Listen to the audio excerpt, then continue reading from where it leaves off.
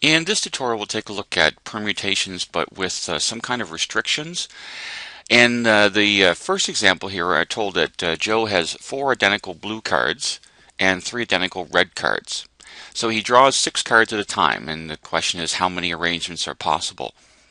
Now there's a kind of restriction here because there's only four blue cards and three identical red ones and he's drawing six. He can't for example draw all six blue or all six red. In fact, he's restricted to he either can draw a two red and four blue or three red and three blue. There's no other possibilities here. So there's a restriction here just because of how many different cards he has. So for example, he cannot draw one red and five blue because he only has four blue available. So in order to uh, figure this out, there's really how many ways can you arrange uh, two, two identical red things and four identical blue things, and then the, the same with the three red and the three blue. So there's six objects here, and if um, remember some of them are the same, you uh, you reduce the um, number of possible permutations. So for example, uh, you could think of this as two R's two red R's and four um, uh, blue B's, for example. So, and there, of course, the, the, all the blue ones are identical, all the red ones are identical. So we would take, excuse me, 6 factorial because there's 6 objects and divide by 2 factorial and also by 4 factorial because these uh, red ones are identical and so are those blue ones. And then so that's the ways he can he can select two red and four blue. And this is the calculation for how many ways he can uh, select or arrange three identical red things and three identical blue things. So we would divide 6 factorial by 3 factorial times 3 factorial. And if you evaluate that um, divide it out this uh, first calculation worked out to 15 so there's only 15 ways he can select two red and four blue in uh, in uh, different orders. And there's 20 ways you can select uh, three red and three blues. And of course that adds to 35. So altogether, Joe can pick 35 different arrangements of cards that are either two red and four blue or three red and three blue. Now, two events that cannot happen at the same time, for example, uh, you cannot at the same time select two red and four blue and also three red and three blue. It, it's impossible to do that. Two events that cannot happen at the same time are said to be mutually exclusive. And so we get what's called the addition principle. If you have, if two actions, and this extends past two, are mutually exclusive and one can be done in m ways and the other one in n ways, then there are m plus n ways the action can be performed. So that's why in this page we added the calculation for how many ways you can get two red and four blue to how many ways you can get three red and three blue because they're mutually exclusive. So that's why we added the 15 and 20. There's 15 ways you could do it this way and there's 20 ways you can do it this way. So altogether there's 35 different arrangements. So that's the addition principle for mutually exclusive uh, actions. In example number two, it says consider the five letter arrangements of the word Southern. How many arrangements contain only consonants? So there's a restriction. Um, consonants do not include, of course, O, U, or E. So we're only talking about the S, the T and the H, the R and the N. And we're only, and here's another restriction too. We're only talking about five letters at a time. So there are there are five consonants. So well, I guess in that case we're actually arranging all of the consonants. So if there's uh, five of them, we could arrange them in five factorial ways, or 5 permute 5 would be the same calculation. And uh, 5 factorial is 120, so there's 120 different arrangements that contain only consonants. In B, it says how many start with an S and end with the letter N. So same as in the word Southern, starts with the first letter and ends with the last letter in the word Southern. So it would look like this. There's an S at the beginning and there's an N at the end. And so in the middle, now this is independent of A. We're not we're ta not talking about just consonants. So we can be any three of the other letters from the O, U, T, H, E, and R. Now, so there's, if you count them, there's one, two, three, four, five, six letters between the O and the R, and we're of course selecting three of them here. And we're putting them in, in different arrangements. That's why this would be a permutation. Because, for example, if you go O-U-T, it's different than if you use the same letters but go U-T-O, for example, in a different order. So that's why this is a permutation. So there's only there's only one way to put the first letter, the S, and one letter to put in the end. They have to be in those spots so they don't change the total number of uh, permutations.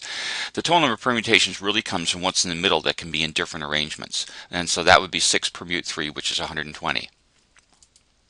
And C says how many contain the letter U?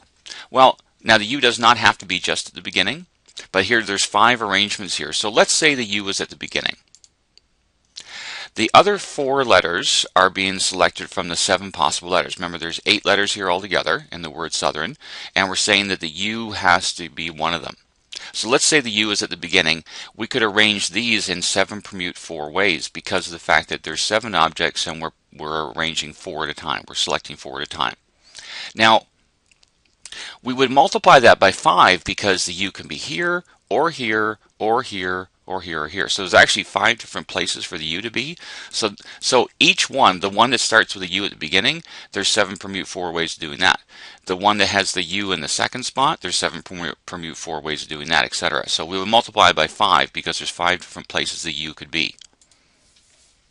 And if we evaluate that, that works out to 4,200. So there's 4,200 ways of selecting five letters that have to have the letter U in them. For D, how many have the T and the H together?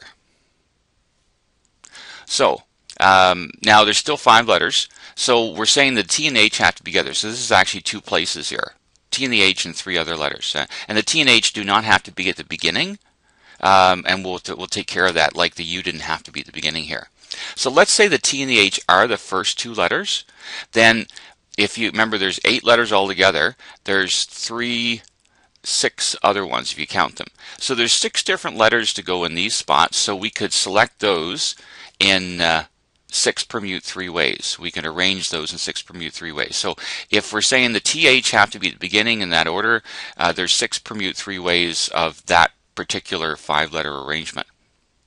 Now, the T and the H um, could be either T first and H second, or it could be H first and, and and, and T after it. So that's why we would multiply this by 2 because if there's two letters here, there's two ways for them to be written, um, either the T first or the H first. Now, the uh, T and the H could be in the first two spots or the second and third spot or the third and fourth spot or the fourth and fifth spot.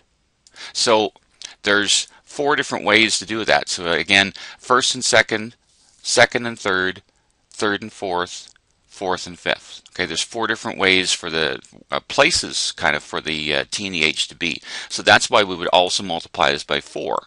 Kind of like the U could be in five different places, so we multiplied it by five. So that's the calculation. So a little under a thousand. There's 960 ways for the T and the H to be together. And example number three, uh, we've got a group of seven people that are sitting together at a high school graduation ceremony. And the first question is just how many ways can they sit together? So it's an arrangement of seven people taken seven at a time. So it's actually the permutation seven permute seven, which of course would be seven factorial. So there's 5,040 ways that they can be arranged. In B, says how many ways can they sit together if two people must sit next to each other, perhaps they're a couple or they just want to sit next to each other. So it's very much like on the previous page, the T and the H. Okay, we're, we're putting them together. So if they're together, then think of that, that as a, a couple. Okay, so that's one object, but it's actually two people. And then there's five other people. So there's this pair and there's five other people, which makes the seven altogether. So it's really like arranging six objects. So we could arrange them in six permute six ways. But like the example on the previous page, we would also multiply that by 2 because let's say it was uh, Henry and Sue. Henry could be first and Sue second, or we could reverse it and put Sue second and Henry, Sue first and Henry second. So that's why we multiply it by 2. And we don't have to worry about um, um, the first and second, second, third, because if if there are a couple, we're actually saying that can be arranged in um, the six permute six takes care of that. So uh, that works out to 1440 ways. In the last example says how many ways can they sit together if two people must not sit next to each other? So perhaps they're maybe they're a couple and they had an argument. They don't want to sit next to one another.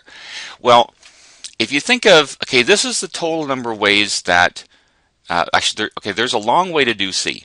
You could do, well, perhaps, let's say it's Henry and Sue again. Uh, Henry's first and Sue could be third, so there's somebody between them in the second spot. And Henry could be first and Sue could be fourth. Henry could be first, Sue could be fifth. Well, you could actually calculate all those and add them up, and that would be very, very long. Okay, but there is a shorter way to do this. The 5040 is a number of ways that they can be arranged with no restrictions whatsoever. This is number of ways they can be uh, sitting, they have to be sitting next to one another. So these two events, um, this is a total number, and this is the number of ways they can sit together. This down, what we're looking for down here is an event that's mutually exclusive with this one. Uh, they're either sitting next to one another or they're not sitting next to one another. These two answers from B and C should add to the 5040 because either they're sitting next to one another or they're not. There's no other possibility. Okay, so a quick way to get C is to take the total amount and the 7 factorial and subtract the um, uh, 1440 from it. So 5040 minus 1440 is uh, 3600 ways. So there's 33,600 ways that they could not sit next to one another. Uh, circular permutations. Now, circular just means uh, there's no real start. It doesn't have to be around a circle. Uh, it could be around uh, a rectangular table, and if there's no start, they're just sitting around it, then that's still this that's still referred to as a circular permutation. The number of ways, and when there's no beginning and end, it reduces the number of ways things can be arranged. The number of ways a set of n objects can be arranged in a circle or around something with no start and end is n factorial divided by n. And n factorial divided by n is actually 1 less than n factorial. For example, if n was 10, 10 factorial divided by 10 is actually 9 factorial. So uh, it's the number of objects minus 1 factorial. Just to give you an example that that actually works, in example 4 it says list all the ways four letters, A, B, C, and D, can be arranged on a circle. Now there's four letters. Uh, if we use this formula, uh, 4 minus 1 is 3, and so it should be, there should be 3 factorial ways, and, which is 6. And so if you actually write them all out, so let's say we did uh, A, B, C, and D. Now, so that's an arrangement around the circle A first, B second, C afterwards, and D afterwards. Now, if I were to put the D up here, and move the A over here and the B down here and then the C over there, that's the same arrangement. That does not make a different permutation because it's a, a, certain order around the table. Even if I, you know, move A two spots and B two spots to here and C here and D over here, that's still the same arrangement because if you go around the circle, let's say clockwise, B is after A and C is after B and D is after C, etc. Okay, so that's one way to do it. So in fact, I, actually all I'm doing is actually just listing all the different ways and you could try to, you know, list uh, different ways around the circle, but those are actually all of them. All those are all the different orders that uh, you could put four things around a circle or a rectangle or whatever. So uh, that actually just is a demonstration that this formula works. It's not a proof. Uh, it's just an example with uh, with four objects. Uh, one last example uh, how many ways could 22 knights sit around King Arthur's table? So here's a circular permutation. They're sitting around. Remember, his table actually was supposed to be round. So, so it's 22 objects. So uh, we would evaluate 21 factorial, one less than the number of objects. So 21 factorial is a pretty big number. If you put if you punch that in your calculator, you'll get this. It'll be like 5.109, etc. And then there'd be over here like a 19, which means times 10 to the power 19. It's in scientific notation. So this, if you wrote this out as a standard number, that 19, remember, means that you'd move the decimal 19 places in, in to the right here. So it's a huge number. So that's approximately 51 quintillion. So there's a lot of ways. So there are approximately 51 quintillion ways for 22 knights to sit around King Arthur's round table. And that's the end of the tutorial.